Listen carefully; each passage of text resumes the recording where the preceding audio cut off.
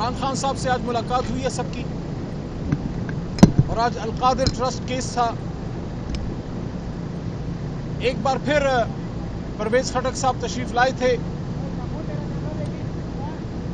उन्होंने मेरी तरफ़ देखा, मैंने उनकी तरफ़ देखा।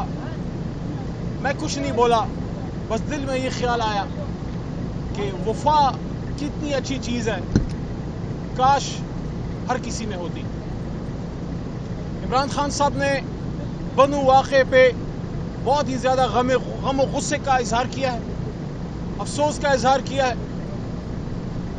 और क्लियरली ये कहा है कि अमन ही वाहिद रास्ता है जिससे पाकिस्तान आगे जा सकता है। अगर कोई शख्स, कुछ लोग अमन के लिए निकलते हैं, अमन मांगते हैं उन पे गोली नहीं चलानी चाहिए। जो गोली चली है, उसके लिए खान साहब की तरफ़ से हिदायत हैं सूबाई हुकूमत अली अमीन खान के लिए कि वो उस पर हाई कोर्ट की सिटिंग जजेस की निगरानी में जुडिशल कमीशन बनाने की हुकूमत की तरफ़ से इस्तदा करें। ताकि इस वाक़े की गैर जानबदार तहकीक़ात हो और जिसने ये काम किया उनको करार वाकई सजा मिले। इमरान खान साहब हमेशा से पाकिस्तान में दहशत गर्दी के भी खिलाफ हैं और अपने लोगों के खिलाफ हर किस्म के ऑपरेशन के भी खिलाफ हैं। ऑपरेशन तभी करना चाहिए जब वो सूबा और वहाँ के अवाम वो समझे कि अब इसकी ज़रूरत है या उनकी उसमें सपोर्ट और उनकी मदद और उनकी आशीर्वाद हासिल हो। खैबर पख्तूनख्वा की सूबाई हुकूमत ने भी, जो जो सूबाई असम्बली का की करारदाद आई है कि किसी भी नए ऑपरेशन के लिए खैबर पख्तूनख्वा की आवाम अभी तैयार नहीं। क्योंकि माजी में जितने ऑपरेशन हुए हैं, उससे बहुत से मसाइल पैदा हुए हैं। और कल जो लोग निकले हैं अमन के लिए, वो कि सिर्फ़ तरीक इंसाफ के लोग नहीं के लिए, अपने मुल्क, अपने सूबे के अमन के लिए, हमारी हुकूमत और हमारी आवाम हमेशा हमेशा दहशत गर्दी के खिलाफ खड़े रहे हैं। मुल्क दुश्मनों के खिलाफ, पाकिस्तान के दुश्मनों के खिलाफ सीसा पिलाई हुई दीवार की तरह अपने पाक फौज के साथ खड़े रहे। लेकिन फेडरल हुकूमत को और हमारे इदारों को इस बात का एहसास करना होगा कि पख्तून कौम पख्तूनख्वा की आवाम इस रोज रोज की दहशत गर्दी से, इस मारामारी से, इस बंदूक बरदारी से इन चीज़ों से तंग आए हुए वो अमन चाहते हैं। वो कहते हैं कि हमें हमारे बच्चों को कलम दो, हमें रोज़गार दो। हमारे बच्चे पराई लड़ाई का ईंधन नहीं बनना चाहते। पिछले 40 साल से ये हो रहा है। बाजवड़ में जो हुआ, ममन में, वजीरिस्तान में, नॉर्थ, साउथ, पाड़ा, चिनार में, पेशावर वैली में, मर्दान में, हर जगह, जहाँ भी जहाँ भी खून गिरता है वो बेगुनाह पाकिस्तानी का गिरता है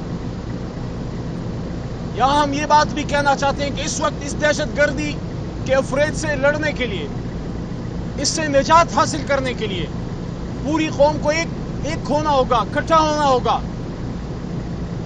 जहाँ जहाँ दहशत गर्दी के खिलाफ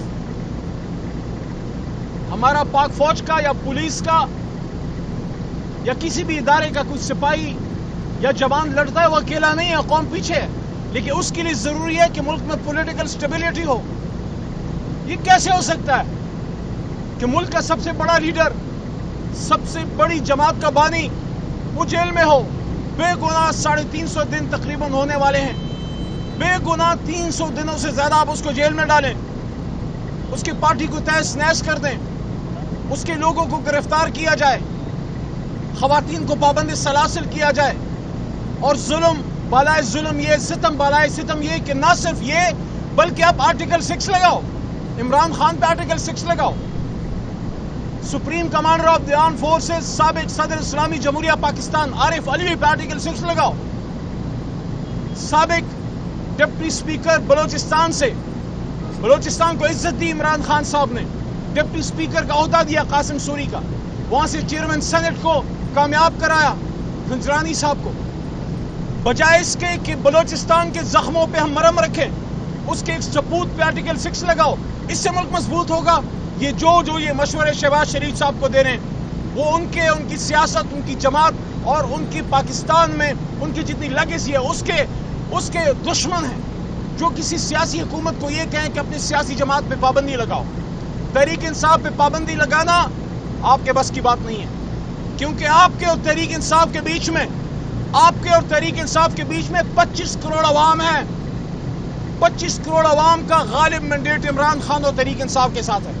इसलिए आज से यहाँ पे, आज अडियाला से एक ही मैसेज है। अगर मुल्क में स्टेबिलिटी चाहते हो, अमन चाहते हो, अगर चाहते हो कि मुल्क में इसकाम आए बाहर से फॉरेन इन्वेस्टमेंट आए, पाकिस्तान की इंडस्ट्री मज़बूत हो, लॉ एंड ऑर्डर मज़बूत हो यहाँ अमन हो, खुशहाली हो, रोज़गार हो तो फिर आपको सियासी इस्तेकाम लाना पड़ेगा। मैं 27 जुलाई को पिछले साल जब पिशावर हाई कोर्ट के हुक्म से सात बार गिरफ्तारी के बाद रहा हुआ, मैंने पहली बात ये की थी, साल पहले और आज भी वो वो बात अडियाला में अपने लीडर से मिलने के बाद कह रहा हूँ, दोबारा दोहरा रहा हूँ। पाकिस्तान को सियासी इंतकाम की नहीं, पाकिस्तान को सियासी इस्तेकाम की ज़रूरत है। जितनी जल्द इस बात को समझ लोगे, उतने जल्द पाकिस्तान मज़बूत होगा, यहाँ इस्तेकाम आएगा और मुल्क आगे जाएगा। हासिल वसूल ये है, इमरान खान को बाहर निकालो, असीरान को बाहर निकालो, तहरीक इंसाफ को उसका मैंडेट दो। ये गद्दार गद्दार की बातें बंद करो। अगर मुल्क से बाहर भी कोई पाकिस्तानी बैठा है, मुझे उसकी बात पसंद नहीं आएगी। नजरी का इख्तलाफ होगा, लेकिन मैं कौन होता हूँ और आप कौन होते हैं? किसी को गद्दार कहने वाले पाकिस्तान की गली और कुचों में और चौकों में लोगों पे गद्दारी के आप बैनर ना लगाएँ।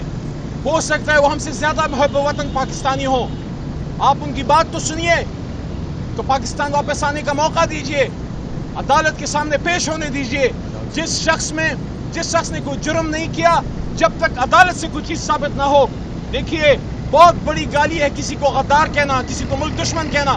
मेरे लीडर इमरान खान को वज़ीर आज़म पाकिस्तान को आपने गद्दार कहा, आपने मुल्क दुश्मन कहा, उस पर साइफर का गलत केस चलाया, तीन सौ दिनों से जेल में रखा, आज वो बाइज्जत बरी हो गया है साइफर केस से। मुझे ये बताएँ, जिसने गद्दार कहा, जिसने मुल्क दुश्मन कहा, उससे कोई पूछने वाला है?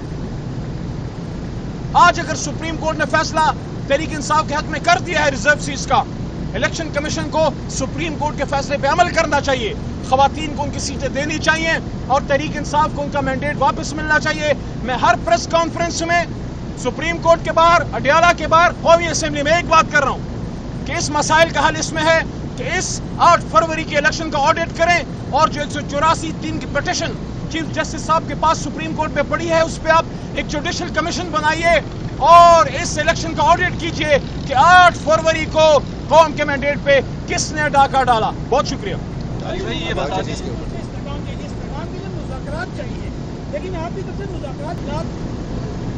देखिए, हुकूमत देखिए, इमरान खान साहब ने हमेशा मज़ाक को वेलकम किया है, लेकिन उसमें मेरे भाई दो दो नुकात हैं।